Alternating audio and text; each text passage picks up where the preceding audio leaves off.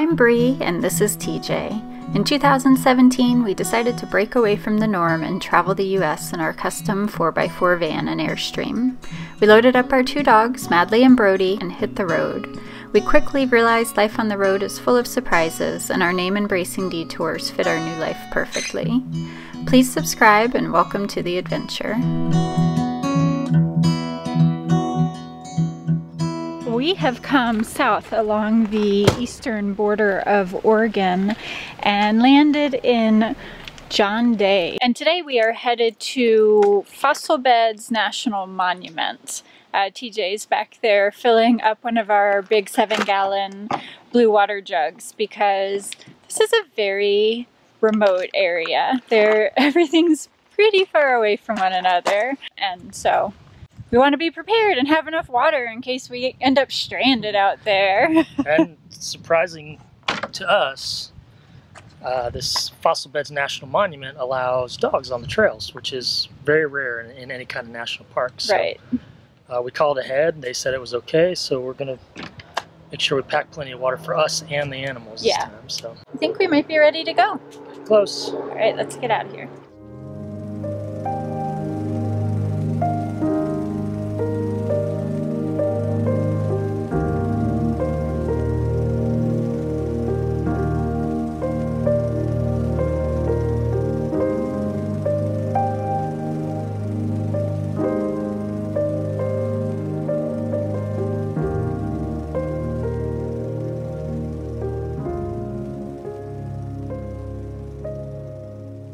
I told TJ that he should stop wearing his mask under his chin, and his solution was that. Is that better? Yeah. I, I like, like that. You guys will be happy to see I'm putting some tennis shoes on, some hiking shoes, against my will. no, I um Actually, this place has got a lot of rattlesnakes, which has got me a little bit nervous. Not that I think these shoes are going to somehow magically save me, but... Those shoes will not save you from rattlesnakes. Okay, I understand. it's caca and falling. Ah! All right, first things first, we are stopping for a little picnic lunch before we start exploring the park. Yep, we are at the Painted Hills unit. Yes, the drive getting here is one of Oregon's scenic drives, aptly named Journey Through Time. Yep, just the drive coming here is worth taking. Yeah, it was definitely well named. It, I could, as we were driving, I could envision all of these different time periods. I could see like dinosaurs walking through some of the areas and then other areas I could totally going through the canyons. Yeah, exactly. So as we mentioned earlier, we have come to the John Day Fossil Bed National Monument. it's a mouthful. it is. Um, so there are actually three sections to this park. We are currently in the Painted Hills section. The other two units are called Sheep Rock and the Clarno unit. Yeah, and the Clarno unit is the only unit that actually has real fossils out in the wild. Right. It's it, the only place that the rock is hard enough that they don't get washed away by erosion. Right, exactly. Um, the Sheep Rock area, they have replicas. So you can go out there and kind of see what it would look like but you won't be seeing the real thing. This entire area is extremely spread out. So just from where we're camped in John Day to this point, Painted Hills was what, an hour and 40 minutes? Hour and 45 minutes. Um, and all of the units are close to an hour away from one another. Right. So it's not exactly easy to get to any of these.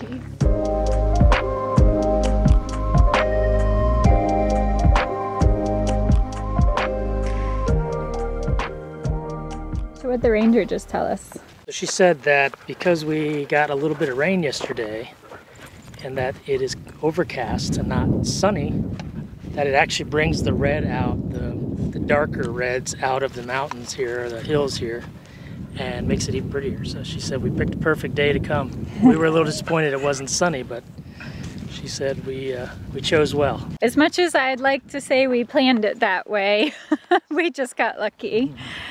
Yeah. Totally, totally planned. You know, it's funny though that we always want things to be just perfect. You know, we always want the perfect blue, blue sky, full sun day. And when that doesn't work out, we always get a little disappointed. But the, the times that that has happened, it's actually ended up being really beautiful. Not to mention, it's not a million degrees out here, which is a plus. We've actually had a cold front blow in and it's only supposed to get to 80 today.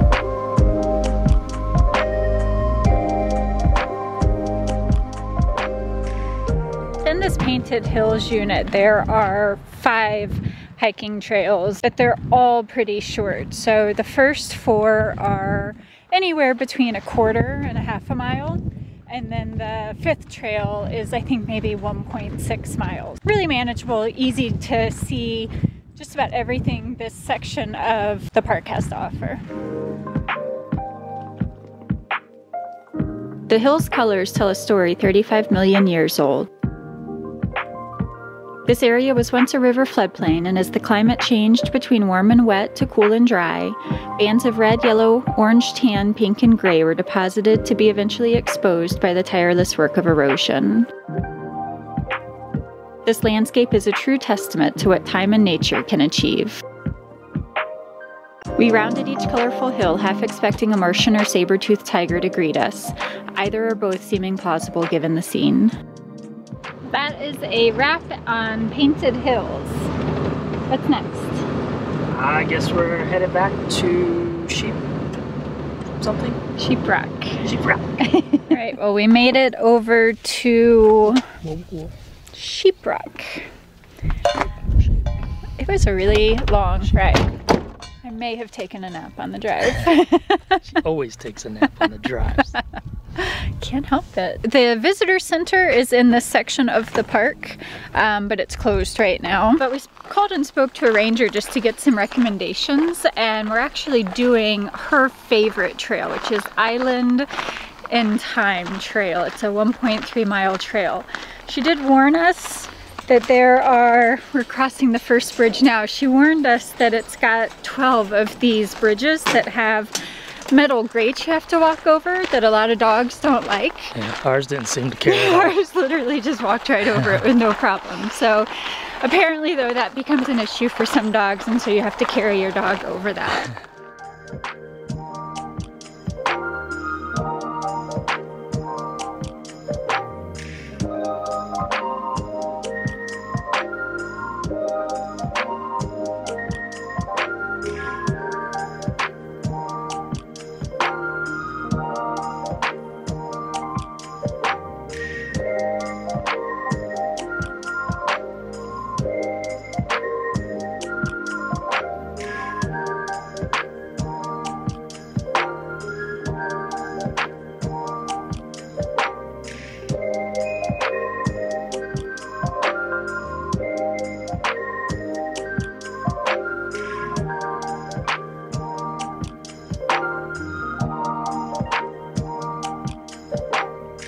just finishing up our last hike. TJ, I think, said it best. He said that this place reminds him a lot of Death Valley. And I agree with that. You get all the different colors and the rocks, but you get the addition of fossils. So that's always cool. It's free, it's dog friendly, it's got a lot going for it. It's just in the middle of nowhere of Oregon.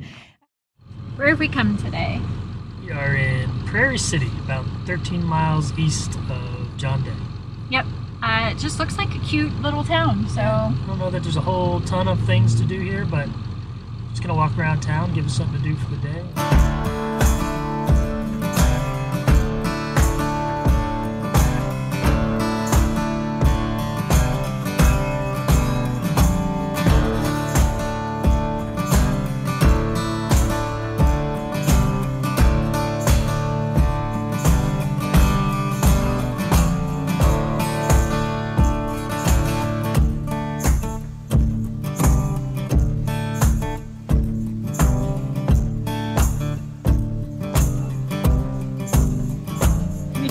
Discovered a very cool old Harley shop here in Prairie City and they specialize in metal engraving. Really, really amazing stuff. It was a cool shop, wasn't it? It was a really cool shop. Yeah. yeah. They had all kinds of neat stuff.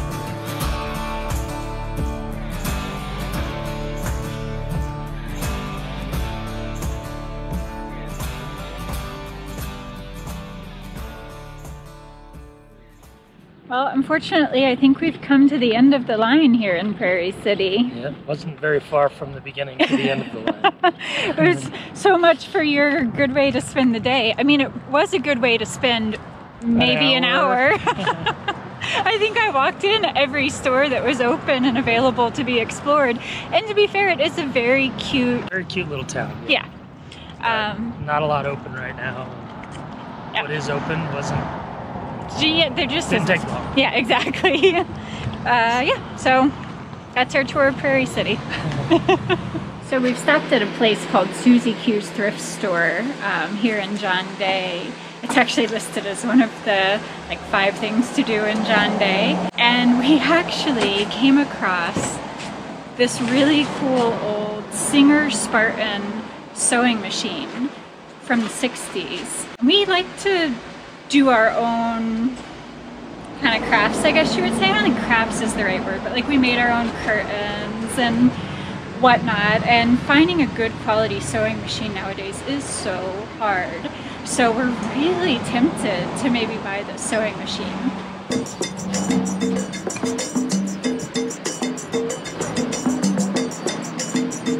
It's good actually.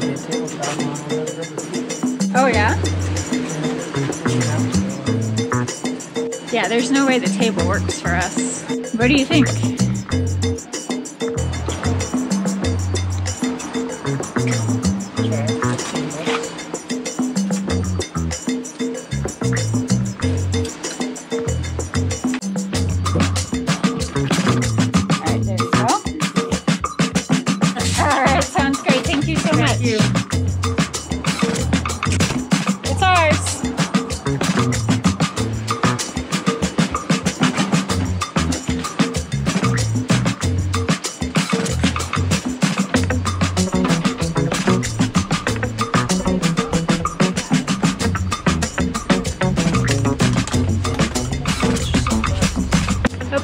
Machine was just sitting outside in the weather at this thrift store. Forgotten about, lonely, and we bought her. We're bringing her home. She's awesome. We got her for the bargain price of... $15.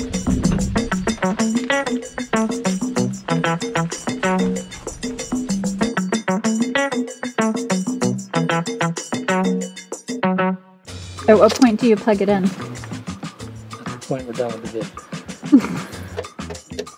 You're a real turd. Which that the Singer badge one has. Ah. Um, it's got a That's little push button chrome uh, thing right about up in here somewhere. This is a zigzag. See the zigzag on it? Oh yeah, I do. Here it is. And you can change this and if you watch the needles, they go back and forth. See, see they go sideways instead of straight? Oh, yeah. Or you can make it straight. What's funny here is that I don't know how to sew. He's the only one in our house that knows how to use a sewing machine. I have tried. It was a disaster. It was awful. It was really bad. but maybe I'll become better with a decent machine. Uh, uh-huh. I tried to teach her in the past, and she blamed it on the machine, but it really came down to a matter of patience. Not known for my patience. Where are we gonna plug it in? As soon as you run the cord, it'll get me some thread.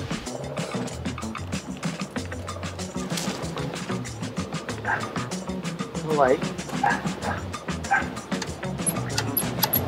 Hmm. You sure breaker's on? No idea. Did you trip a break or flip a breaker? No. then it's probably. Oh. All right. Breaker's on. The light.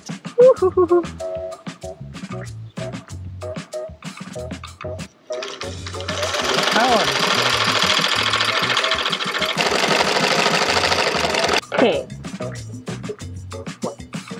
We just got a fully functioning super cool. Dusty. 50 plus year old Singer sewing machine. Yeah, actually sews pretty nice too. Nice and flat. Stitches. Can't complain too much for 15 bucks, right? How about you do a happy dance? Come on, let's see it. Let's see your happy dance. okay, stop. All right, well, it's our last night in John John Day, Oregon. yeah, we've been staying at the Grant County Fairgrounds here, and it's thirty-five dollars a night. For, Thirty dollars. Thirty dollars a night for full hookups. Uh, yeah, you know, it's one of those places that I would categorize as adequate. it's an adequate place to stay overnight and for a few days. Right. Uh, but there is a county or no, it's state a state park. park. It was like a- something holiday, somebody's name with holiday in it. We'll put it down here. Yeah. Honestly, the state park looks really nice. The only reason we chose not to stay there was because the reviews said that mosquitoes were bad, and we're here in right. August, Right. which we assumed that they would be bad right now. And honestly, I think when we looked into it, they didn't have availability for the length of time we were planning on being here anyway. So, you know, that always factors into it as well. What do you think of John Day, Oregon? Um, I think it's a really pretty place um, With not a lot to do. with not a lot to do. yeah, I mean, don't get me wrong, we've enjoyed the few things we've done here, it's not like there's a huge amount to choose from. Oh, hold on. Sorry, we had to stop for a poop break. Not us, the dogs. Yeah. If you're like me, when I heard we were coming to John Day, my first question was, who is John Day and why was the town named after him? And it actually is a fairly interesting story. So back in the 1800s, John Day was a hunter from Virginia and he was hired to do to be part of an expedition heading west to Astoria, Oregon. And along the way, he was ambushed by Indians and stripped naked and left at what was called the Mau Mau River. I'm assuming that's how it's pronounced. It's spelled M-A-U, M-A-U. I don't really know. Anyways, long story short, that story got around and everybody started referring to that river as the John Day River. Eventually, it got changed on the maps. The town was named after him. They built a dam and the dam was named after him. They even ended up naming the Fossil Beds National Monument after him. He's been memorialized through this whole area and the craziest part is he never even was actually in this area. They're not really sure that he'd ever actually stayed in this the town of John Day. I don't know, I just find that so crazy because it almost it almost started from a joke, right? Like people were like, "Oh yeah, that's where John Day got got all his clothes taken from him," and it just stuck. Um, so, anyways, there is um, one more attraction here uh, that we have not had a chance to do yet. It's only it's less than half a mile from the the fairgrounds, the county park where we're camped. Uh, so we're gonna walk over there now just to check it out.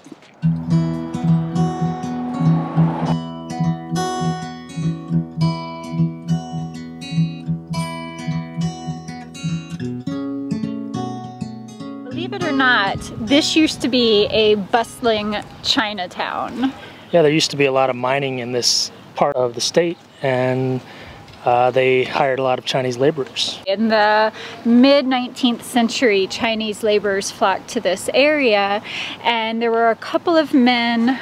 Let me see if I can remember their names. Doc Hay and I think it's Lung On started this Chinese apothecary behind us, and it became sort of the hub of this Chinatown. It became a place where the Chinese could come and feel welcome and get the things that they were used to from their home country here in the middle of this strange land. At the turn of the 20th century, the Chinese uh, had left this area. They were no longer, there was no longer work here for them. Right, The mining had played out, and they started moving on. Right, exactly. But the apothecary actually had become really popular with the locals, and they ended up staying on here in Central Oregon um, after the Chinese had left. At Doc Hay's death in 1952, he actually gifted this building and this place to the city of Hood River.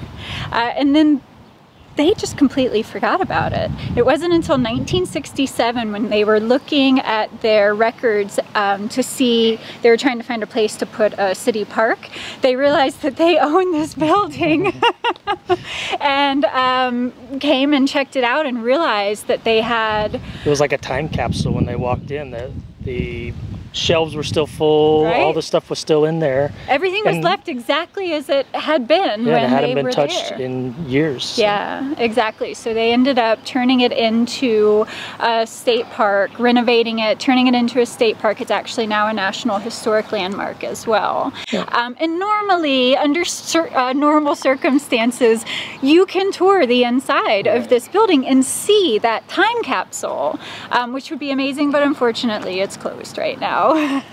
Something completely and totally unexpected here um, in super rural, small town, sleepy John Day, Oregon, but yeah. something really cool. So if you happen to find yourself passing by. Yeah. I mean, this is, if you're coming out of Bend, this is on the way to Idaho. So if you're coming through this area, definitely stop and check it out.